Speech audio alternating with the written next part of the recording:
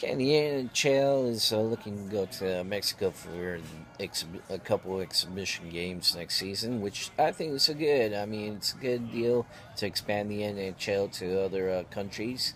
So we'll see what happens, but um, I agree with it. Uh, that's a good way to uh, market the NHL all over the world. So why not start with Mexico? And that's my take on it.